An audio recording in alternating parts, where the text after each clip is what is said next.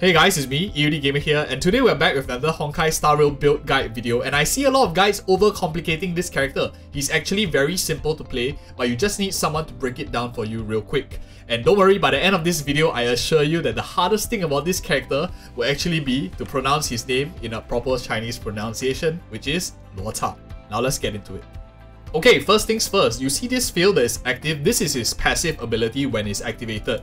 Now we start off here because it's easy to understand when it's actually active and to understand what it does. So this passive, you see this background here with this like flowery thing around, this is his talent and once you hit like a certain amount of stacks, uh, he will automatically activate it, tag the enemy, you also heal. So it's something like a pseudo life steal, quite simple so far to understand. Skills off with attack and that's important to know because this character generally will scale more with attack than HP and etc. like other healers in the game that we have.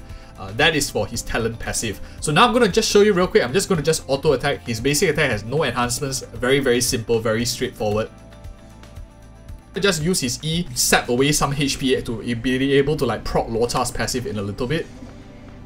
And you see here, uh, actually Arlan managed to get a bit of uh, sustain from the attack because of this talent field passive. Now let it go away so that the rest of his kit can actually take place. Okay, now that that field is away, we can start to exactly see what it looks like when you are starting the match without the technique. For example, here we have 0 stacks on the flower real quick, and if we use, for example, E of Arlan, Luocha has a passive that when any character drops below 50%, they will actually have an auto heal from Luocha, which we will look at in a little bit. Let's just demonstrate, it's easier to see by action. Okay, so that is the demonstration. He immediately followed up with the heal. As you can see, now it's still his turn. He also gains one stack to contribute to that passive ability of his fail. Uh, what that comes from is actually his skill ability. So basically, any character that drops below 50%, he has an auto heal uh, to buff up their character for sustain. And of course, with a bit of traces, he also cleanses debuff. Very similar to Natasha that we are very familiar with already. So that is how his kit works in general. Uh, so it doesn't use up any skill points. So for example, now if I press his E again and I cast it here, he will instantly get another stack here and his passive will also follow. Let's take a look. So okay, back to the very familiar uh, passive ability that is happening. And last but not least, uh, his kit is his final part here is the ultimate ability here, which also generates Abyss Flowers. And one thing, uh, a tricky thing to note is, when you use this ultimate ability real quick, you want to make sure that this uh, Abyss Flower, if you know it's going to end already, make sure it ends first and you have that 0 over 2 before you cast the ultimate ability. Because if I cast it, for example now, the one charge of Abyss Flower is actually not going to count towards the next setup. So time your ultimate correctly, you'll get used to it after a while. But that's basically a small little gimmick that you can play, pretty straightforward. Let's just take a look at what it does. And let's jump into the trace real quick. So his ultimate ability basically simply just removes one buff from all the enemies and also deals imaginary damage. Very very strong ability because it makes him a little bit more of an AoE damage dealer, helps you get rid of all those Mara struck with all those reviving or lifesteal buffs that they have as well. Very strong ultimate ability, also good amounts of imaginary break damage. Now, now that we have seen his kit in general and how he works, what are the recommended allocations to his traces then? I think that all of his uh, abilities are very very important because as you can see he rotates from his normal attack to grant like um, skill points, he uses his skill very often as well to uh, heal up his entire team. This uh, passive field that he has pretty much is the one that gives your whole team uh, sustained healing as well. So if in my opinion all of his traces should be leveled up equally if you were to pick and choose, I think skill should be the one that goes up first, followed by his talent ability if you want more healing for these two portions. His normal attack probably will be like the lowest priority since it's just a slight increase in damage. Of course, his ultimate is very strong because it adds on significant amounts of damage as well. So these two, more of a sustain, these two more of damage. Pick and choose wherever you want. Major Tracers, on the other hand, is very, very strong. His Cleansing Revival here basically gives him like a free debuff for his skill, basically the same like Natasha, as well as like March 7 for example. Very good in especially in the early game meta when we are seeing a lot of debuff enemies in the Memory of Chaos so far. And as for Sanctified, another bonus ability, this one is very strong because the if when the character is attacking and gets some life steal, he also shares the entire healing with the entire team as well based on Luocha's attack. So very nice to spread out the healing a little bit and it also gives uh, the feel, this is what I mean by a little bit more of a sustained healing where even if your characters are slower, maybe they don't really attack as often, at least they still can get some sustain from the AoE attacks as well. Very, very strong. One thing that we noticed so far in his kit is he doesn't have like an emergency panic button heal for your whole team that a lot of us might be used to if we play Natasha. His healing is actually a little bit slower compared to like a character like Bailu, Natasha or even Gepard's Thick Shield as well because a lot of his healing comes from taking action or uh, getting attacked and if we are often at very low life, getting a fatal attack uh, might be not even enough to survive and we won't even get this sustained up as well. So that is just something to consider, consider as a relatively higher skill character to play because of this lack of a panic button other than this emergency 50% but it's only one target. Last but not least, bonus ability uh, through the valley. Crowd control debuff increased by 70%. A lot of people are going to be looking at this and also uh, factoring it in when building him, uh, which means that he may not need as much effect resistance as other characters because he already has quite a significant amount of crowd control debuff. Just some things to consider as well. Okay, Light Cones, he actually has quite a few options. Out of all of them, uh, 4 stars, let's start about 4 stars first. I think Quid Pro Quo is going to be interesting to use since every time the wearer starts a turn, you get 8 energy for randomly chosen ally. Good amount of uh, team buffing for energy. If you have this already maybe build up, I think he can use it quite well since Luocha does build a little bit for speed to get his uh, passive off cooldown too. I think it's going to be very recommended. Quid Pro Quo, uh, very useful for him. Other than that, if you have Shared Feeling, I think it's also going to be a decent option.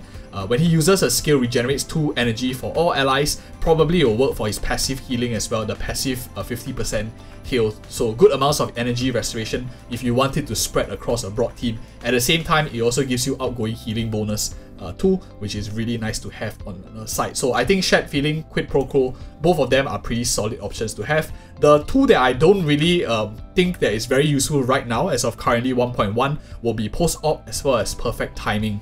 Uh, why Perfect Timing may not be super useful is he already has 70% uh, crowd control debuff. But in future, moving forward, if we have more gear that scales with effect resist resistance, for example, maybe a new relic set that scales off with it, or maybe enemy monsters are becoming super strong that need has a super high amounts of debuff rate, this is going to start to come into play. But as of 1.1, maybe not yet. Uh, it gives good amounts of re uh, effect resistance though, and it also allows split scaling, or rather, it, it also benefits outgoing healing when you have effect rest. So I think in future this will be very interesting but requires two conditions to be met. Enemies becoming more able to land debuffs as well as maybe more scaling off of effect rest from a relic set. That will be interesting to think about as well. But for now, uh, not very recommended in my opinion for the near term. Post-op conversation, why it's not as good is definitely because of the outgoing healing here in Ultimate, which means that you only get an 8% energy restoration rate in the first uh, stat that you have. Other options, other better alternatives exist already like Quid Pro Quo, Shared Feeling just does a lot more. Um, I think that one that I want to point out that is going to be very good from the standard shop as well as time waits for no one this one gives him good amounts of max HP, which he doesn't want to build into, he always wants to build to attack, which means naturally in his kit he's to lack a bit of uh, HP, making him squishy. If you guys are always noticing your Tingyun or your Asta getting always beaten up because they have very very low HP, uh, that's because, uh, and that's going to be very similar to Luo who doesn't really want to build too much into HP stat as well. So I think this is going to be good to diversify into this. Outgoing healing is very nice and on top of that you also get a bit of damage every time uh, for example, you clock in some healing, you also deal a bit of damage on the side. Very good in my opinion for a standard of a free if you pick it up in the shop as well. Uh, last but not least, let's talk about the Battle Pass one. This warm uh, shortens cold nights, increases wearer's max HP by 16%. This is uh, again good for the same reason we talked about for the standard 5 star. And of course, when using basic attack or skill, restores all allies HP by an equal to 2% of their respective max HPs. This one is going to be not as useful maybe uh, for Luocha since uh, it's based on of the character's max HP as well. That means the ally you are healing. I don't think it's going to be as useful since he already has pretty good amounts of uh, healing on the side. Not really very useful in my opinion, but if you have it lying around and you want to use it, it's not going to be totally useless as well.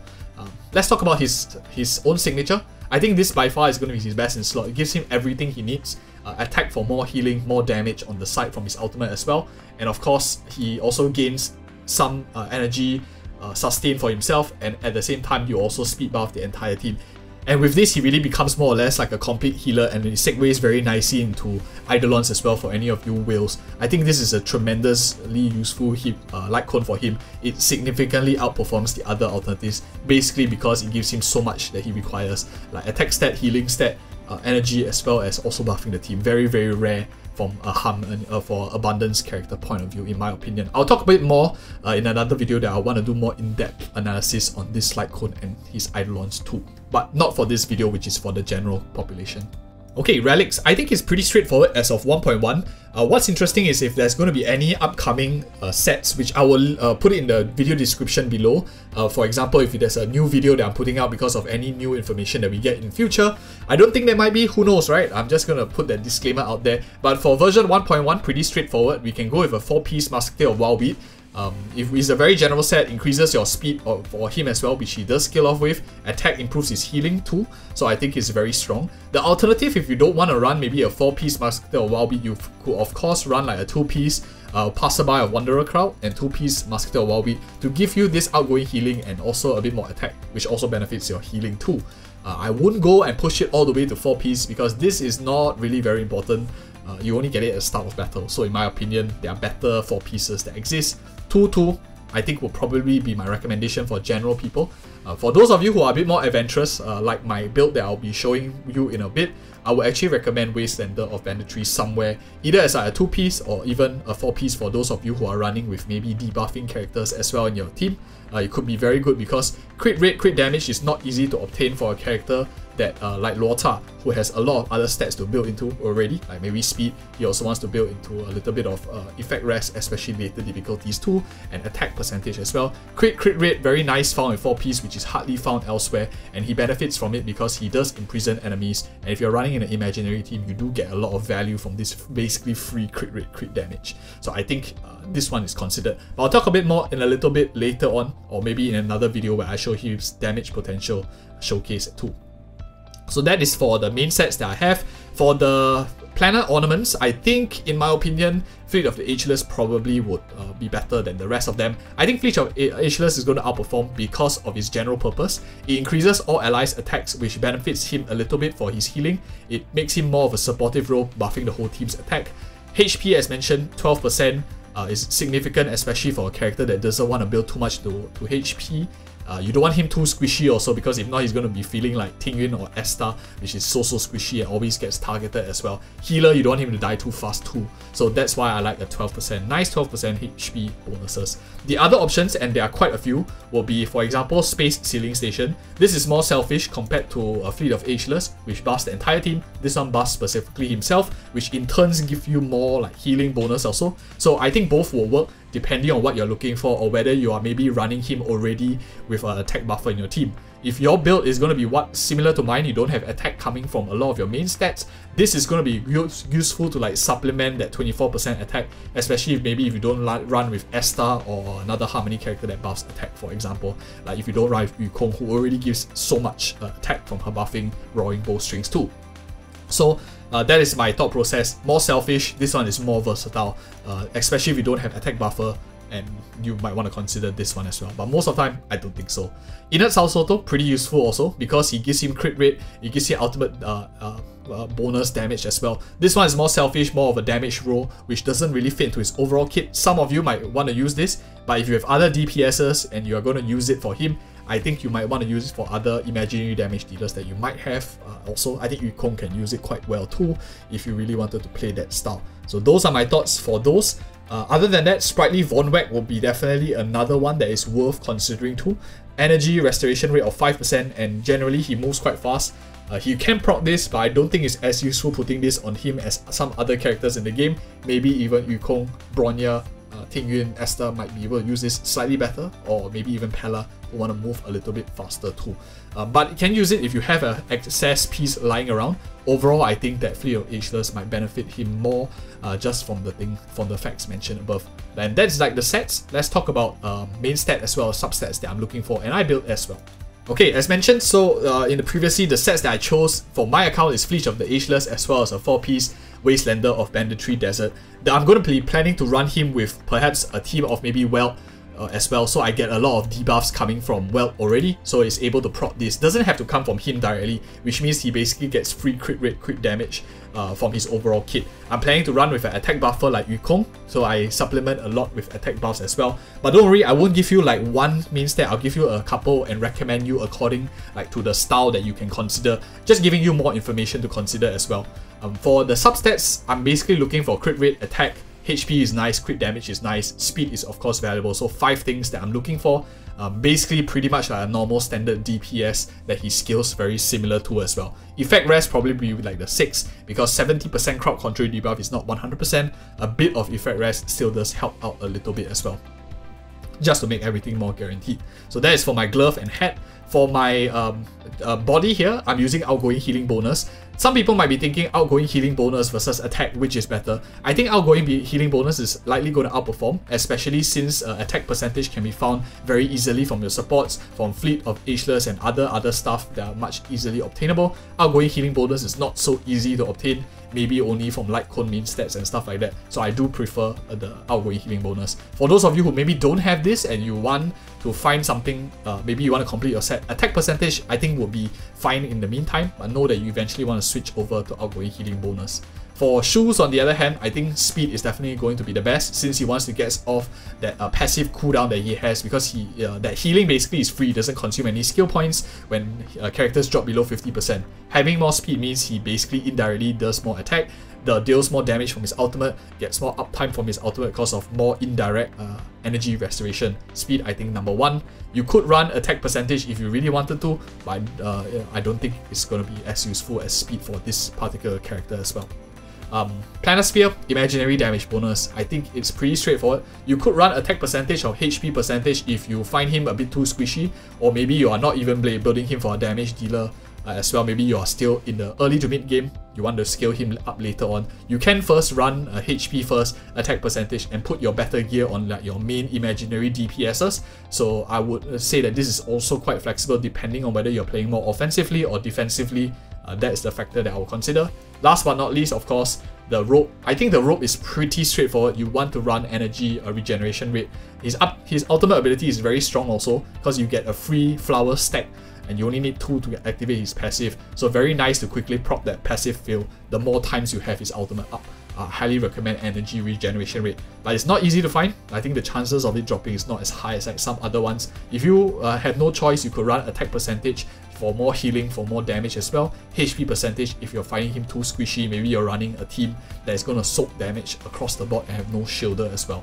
So some things to consider for relics. Uh, let's talk about Eidolons. I'm going to go through real quickly because this is a 5 star after all. It's going to be a bit whale. And in my opinion, like long story short, I think this character is excellent with Eidolons. Probably out of all 4 limited characters that has been released so far, this character is the best whale character have. He, his playstyle changes significantly with Eidolons and he's just so so tempting, uh, especially for pay-to-play player to think about.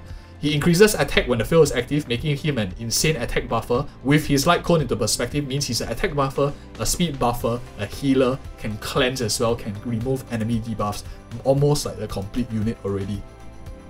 And um, E2, when his skill is triggered, if target is lower than 50%, his HP is increased by, uh, his healing is increased by 30% as well. And ally also receives a shield that can absorb damage if the target is uh, is at 50% or higher. I think this is much more versatile, very similar to what we see from Natasha, just that it also has this uh, additional shield element when it's above 50%, making it just more useful overall. And of course, it scales off with attack, unlike others with off with HP. Uh, E4, when Luocha's field is active, enemies become weakened and deal 12% less damage. This is on top of the, the other buffs that he has already, making him now also, in an indirect sense, a debuffer as well. When his field is active, the, to make enemies deal less damage. Very, very insane character. Tons of value coming from a one supportive uh, role as well. And when his ultimate is used for E6, he also becomes a rest shredder. This unit is absolutely busted at E6. I'll make another video talking about uh, my thoughts of this character. But in uh, for those of you who are watching till this point, not many people might watch him because it's like a pay to win portion. In my opinion, he's a very very solid character. Probably more or less perfect in my opinion for a harmony character. He does one of everything, does offensive as well. Really, really, very, very impressive. But now let's go on to the team compositions because nothing to do about individual strengths. It's all about a team game in Honkai Star Rail. Okay, long story short, I think that Luocha, some of you are already looking at this video for characters in future.